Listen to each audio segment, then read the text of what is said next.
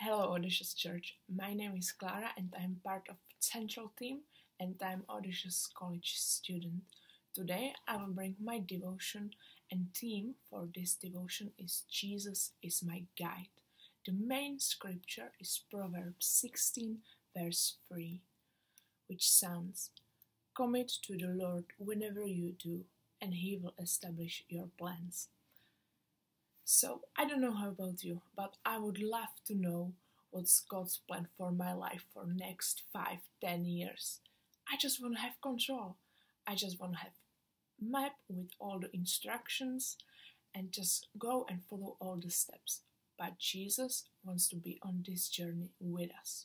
So we don't need a map with all the instructions, we just need the guide. Jesus as the guide. The guide will, us, will give us information in the right time and we will just follow instruction of our guide. And to be honest with you, I am learning how to make Jesus my ultimate and constant guide in my life every single day. I believe that lots of us, including me, are afraid that we will miss God's plan for my life when we need to choose our future school or job or career we could be so afraid that we will miss His plan for our life. But last month, I've been meditating on cooperation between my free will and God's plan. Previously, I've been thinking that it's either my free will or God's plan, or it's 50 50. But during last month, I've discovered that my free will and God's plan works together. I have free will for 100% and God has his plan for my life for 100%. I know it sounds crazy, but our mind is so limited to understand God completely. But imagine this if you have your own line only in your hands, you will be paralyzed to do every decision because everything would matter. The time when you set up from your home, the bus which you choose, everything would matter and you would be just paralyzed. On the other hand, if God has our plan and our choice didn't matter, we would be like just little robots and without free will. So I have realized that all my steps, action, and mistake couldn't destroy God's plan for my life.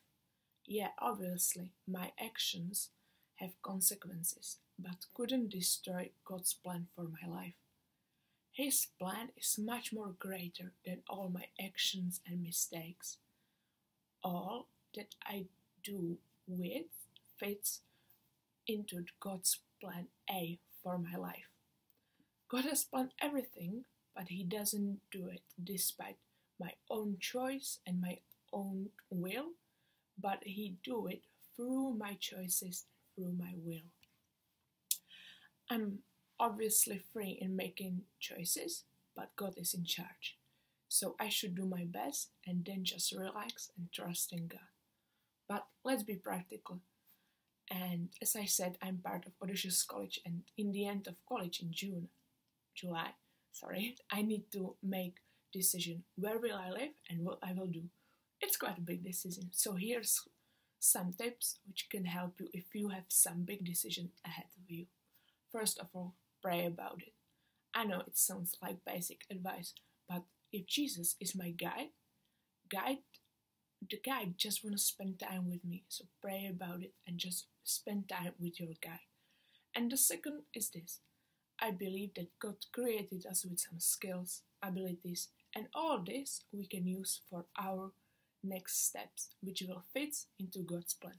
So just ask yourself, what's my spiritual gift? What's my heart's desire? What's my abilities? What is my life experience? And the answer of all these questions can make your decision making process much more easier. So, if you can remember only one thing for this devotion, remember this. You don't have to the map if you have the best guide ever. So, commit all your plans to Him and He will guide you. So God bless you and have a wonderful day.